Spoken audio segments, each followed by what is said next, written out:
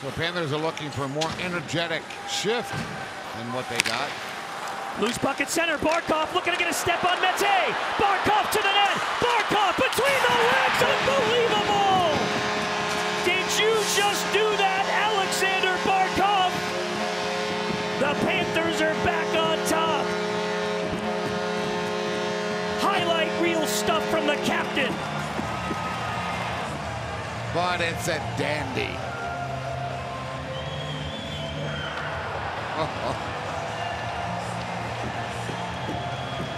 If a picture tells a thousand words, you're looking at a million right there.